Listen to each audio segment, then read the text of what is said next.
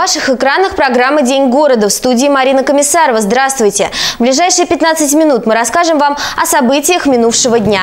Главные темы на сегодня. Никто не забыт, ничто не забыто. На Скорбящинском мемориале прошло мероприятие в память о начале Великой Отечественной войны. Вторая жизнь полуторки. Рязанскому музею автомобильной техники передали поднятый со дна озера фронтовой автомобиль. Гонки без правил. Мотоциклист наехал на сотрудника ДПС. 22 июня 1941 года в 4 часа утра без объявления войны фашистская Германия и ее союзники напали на Советский Союз. Части Красной Армии были атакованы немецкими войсками на всем протяжении границы.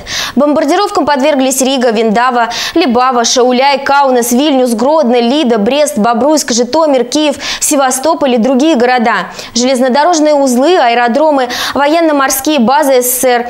Осуществлялся артиллерийский обстрел обстрел пограничных укреплений и районов дислокации советских войск вблизи границы от Балтийского моря до Карпат. Началась Великая Отечественная война. Тогда еще никто не знал, что в историю человечества она войдет как самая кровопролитная. Никто не догадывался, что советскому народу предстоит пройти через нечеловеческие испытания, пройти и победить. Избавить мир от фашизма, показав всем, что дух солдата Красной Армии не дано сломить захватчикам. Никто и предположить не мог, что название городов-героев станут известны всему миру, что Сталинград станет символом стойкости наших людей, Ленинград – символом мужества, Брест – символом отваги, что наравне с мужчинами-воинами землю от фашистской чумы. Геройски станут защищать старики, женщины и дети. Что нужно обществу, людям понять, как до этого дошли, и что здесь, чтобы это больше никогда не повторялось. Можно сказать, что Главную тяжесть борьбы фашистской Германией вынесла наша страна, наши предки. Вот для меня это мой дед, он воевал, мой отец. Он еще жив, он 27 года рождения, ушел на фронт. Этот год рождения, 27 позывали весной 45 он ушел осенью 44 добровольно, слава богу, жив. Хотя участка борьбы осталось совсем мало, вот если не ошибаюсь, уч участка войны сейчас в Рязани у нас где-то вообще в регионе около 1900, около 2000 осталось всего. И здесь сказать, вот даже понять, как не сломали немецкую машину, вот только удивляться. У нас обычно вот даже в школе причины неудачи Красной Армии в начальный период войны. Школьник должен знать, понимать, объяснить. Но вы знаете, вот меня как человека, не как ученого, как человека, интересует другое. Почему неудачу непонятно. Это объяснимо, к сожалению, часть из них это просто наши собственные достатки. Условно говоря, вот то, что каждый день мы не дорабатываем по чуть-чуть, завтра доделаем. Момент, когда страшно, враг обрушится наши границы, идет уничтожать, все это, к сожалению, всплывает. Как наши с вами родные и близкие – могли делать так, что все зашло с 9 мая 1945 года. Вот вы вдумайтесь, немецкая культура, наука, техника, медицина, немецкие дороги, ну что там еще может... Это все это великое достижение мировой цивилизации, когда все эти великие достижения поставлены на службу человеконенавической идеологии. Немцы были хорошие солдаты, умели воевать, них была отличная техника – и вот заметьте, все это хорошо, и в данный момент все было, шло на зло человечеству. И вот эту огромную силу, эту великолепно организованную, смазанную, как вот как хорошее число, надо было ломать. Вот наши предки ее сломали. Долго за это заплатили. Ежегодно в 4 часа утра на Скорбящинском мемориале в память о начале Великой Отечественной войны зажигаются свечи. Помнить, чтобы не допустить повторения страшных событий, задача каждого из нас.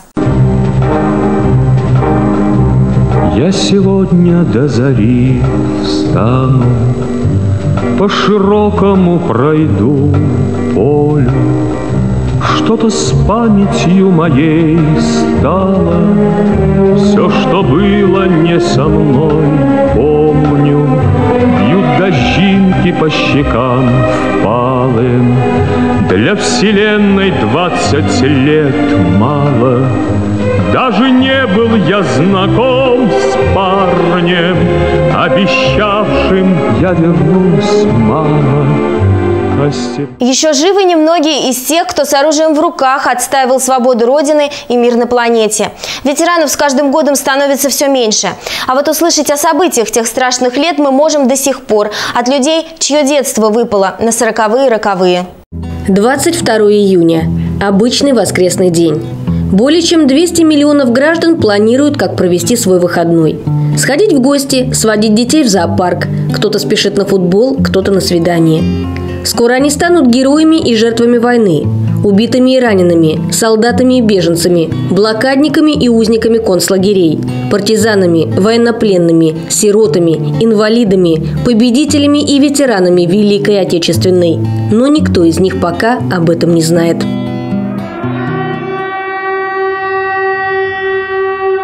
Лена из Ленинграда, Женя из Поволжья, приехавшая с родителями в Михайлов, Роза из Хмельницкой области, Коля, Саша, Галя. Сколько их таких? Юношей, девушек и детей, так и не успевших пойти в свой первый класс, встретить юность под мирным небом, отрезать столько хлеба, сколько хочется. Внимание! Говорит Москва. Сегодня в 4 часа утра без всякого объявления войны германские вооруженные силы атаковали границы Советского Союза. Я помню, папа, он же гражданскую воевал.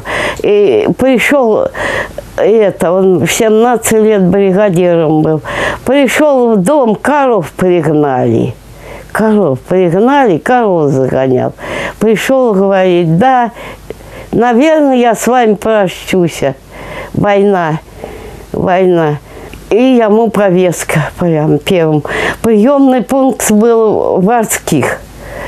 Всю ночь не спали, сухарики сушили, мать дала, сало достала, носки ему двое.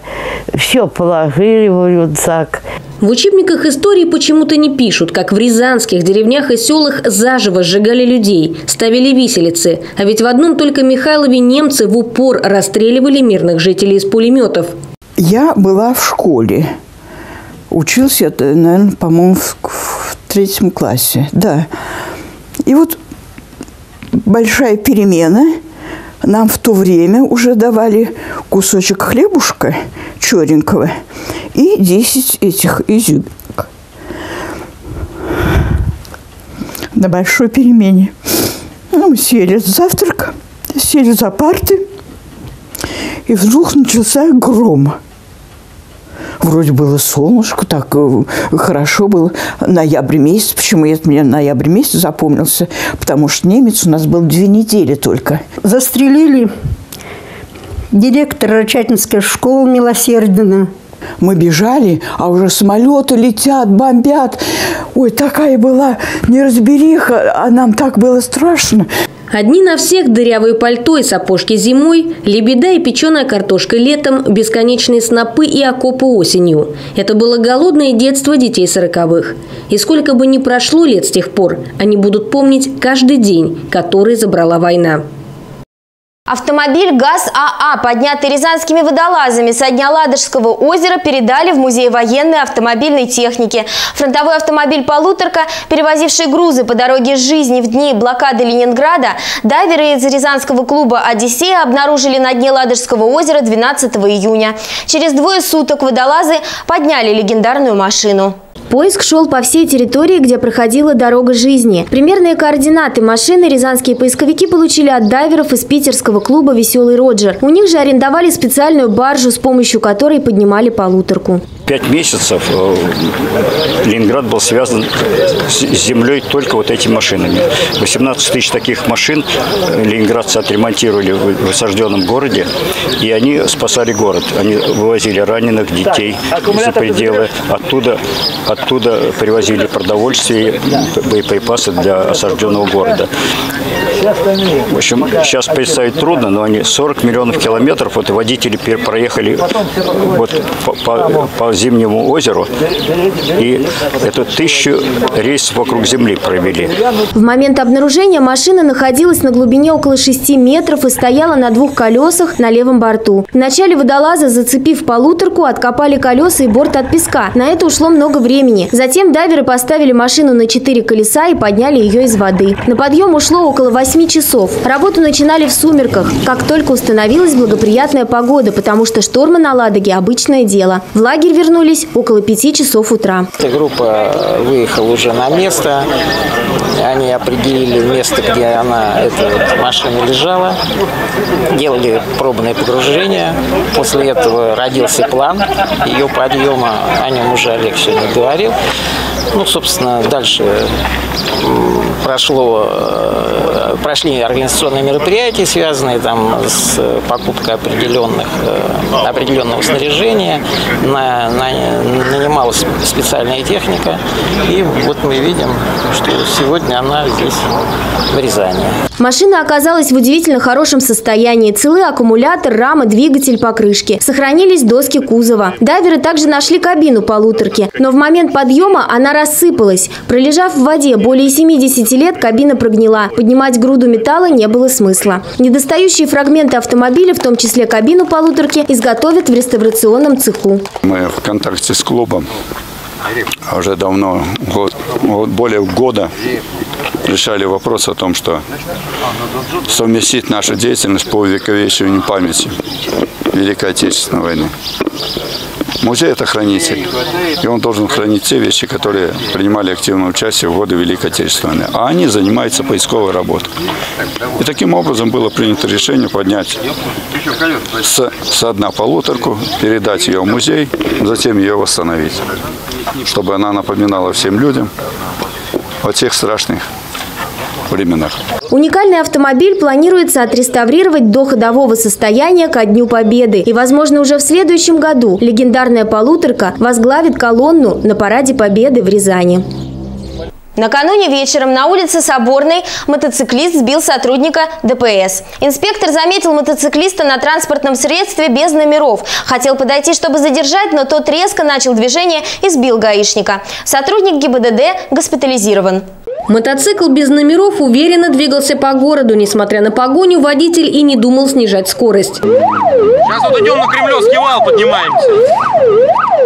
Инспектор ГИБДД, который заметил дерзкого гонщика на дороге, попытался остановить мотоциклиста, но тот не только проигнорировал требования сотрудника при исполнении, но и совершил наезд на него. В результате ДТП сотрудник полиции получил травмы головы и был госпитализирован. 24-летнего нарушителя тоже доставили в больницу с вывихом плеча. Для установления обстоятельств по данному факту назначена служебная проверка.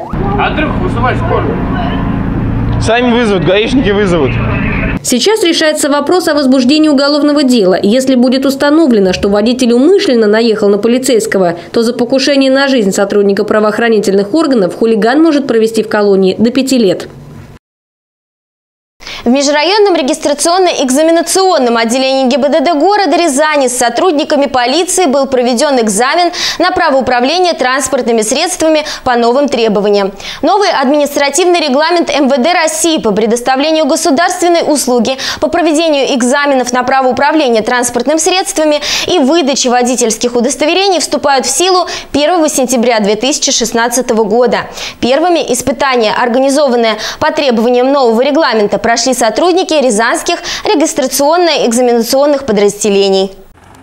Теория, практика на автодроме, маневрирование, кто как не полицейский должны лучше всего справляться с такими задачами, когда на счету каждая минута. Никогда не знаешь, чем обернется очередной день – змейкой по извилистой дороге или крутым поворотом. Упражнения выполнялись на пассажирском автобусе, это категория «Д».